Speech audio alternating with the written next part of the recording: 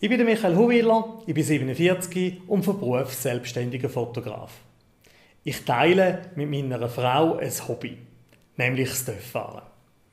Normalerweise gehen wir im Sommer für mehrere Wochen auf ausgeprägte Töfftour quer durch Europa.